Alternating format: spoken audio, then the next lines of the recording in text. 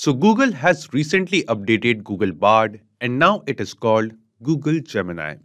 And in Google Gemini, you have two options, Gemini and Gemini Advanced as well. Where Google Gemini is powered by Google's Gemini Pro AI model, Google Gemini Advanced, which is the paid version of it, it is powered by Google's most capable AI model which it claims that is called Ultra One. And you can see it is a paid model as of now, but you can start with a two month free trial.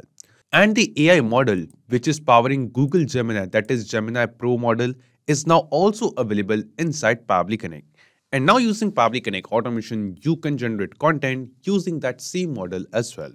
So we are going to see how you can set up this Google's generative AI action step in your Pabbly Connect workflow.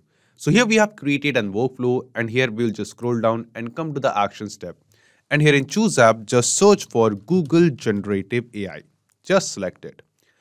After selecting Google Generative AI in action event from the drop-down, select Generate Content and then just click on Connect and select Add New Connection. Now here we have to connect our Google AI Studio account with Pabbly Connect and to make this connection, we have to enter the API key over here. Now you must be thinking how you can get this API key to connect your Google Gemini Pro account with Pabbly Connect and use it in your Pabbly Connect automation workflow.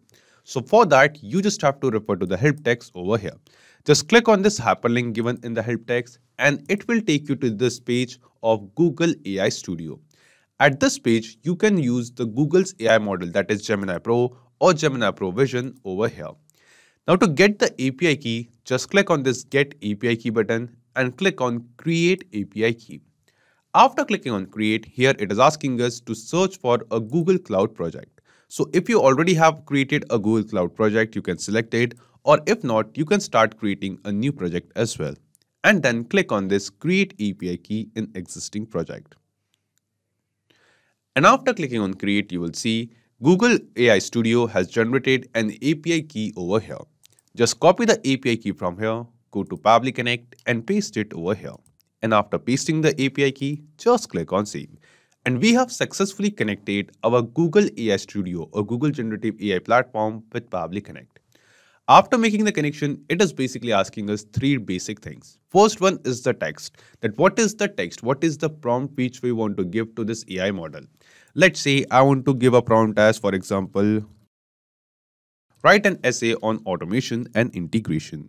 And after entering the text, it is asking us for the models. So here in the dropdown, you can see a list of different models you can use inside Pabbly Connect, which are offered from Google.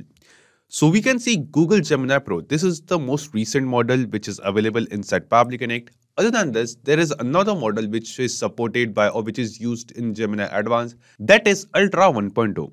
Now as of now, this particular model is not available via APIs inside Pabbly Connect. So we are going to use the most latest one that is Gemini Pro over here. And after selecting the model, it is asking us for the method. So do you just want to count the tokens or generate some content using this particular action?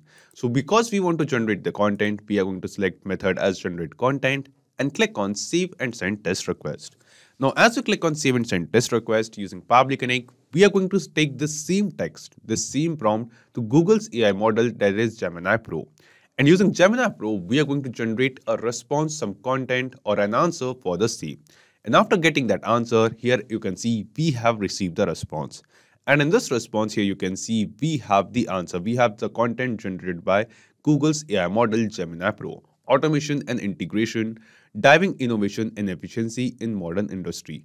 And here you can see using AI within few seconds, it has written an essay on the same topic. Basically, it has given us the answer for the same prompt which we have given over here. In this way, using Google Generative AI action inside Pabbly Connect, you can use Google's AI model inside your Pabbly Connect automation workflow and you can generate some content using that as well. So this was just an introductory video that how you can set up Google Generative AI or how you can use Google Gemini Pro inside Pabbly Connect.